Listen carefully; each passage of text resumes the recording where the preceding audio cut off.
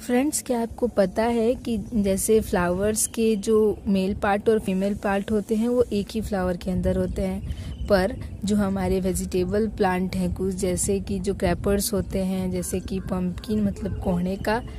लौके का bottle guard और करेले का कुकुम्बर यानी ये सब सारे जो प्लांट हैं, उनके जो है वो flower plant female flower plant और male flower plant different different होते हैं। ये जो बड़े साइज़ के जो फ्लावर पहले उगते हैं, आते हैं फ्लावर प्लांट में, वो होते हैं मेल फ्लावर प्लांट जो जो हैं हनी बींग्स वगैरह, जो इंसेक्ट्स हैं, उनको अट्रैक्ट करते हैं अपने ब्यूटी से। और जो फ्लावर प्लांट जिनके बेस स्वेल होती है और उनमें ऑलरेडी छोटे से जो हैं वो फल लगे होते हैं, वो होते हैं फीमेल फ्लावर प्लांट जिससे मेल फ्लावर प्लांट अपनी पॉलिनेशन करके रिप्रोड्यूस करते हैं। तो होप सो आपको ये पता नहीं होगा या होगा भी। अगर आप चैनल पर नए हैं फ्रेंड्स तो please subscribe to my channel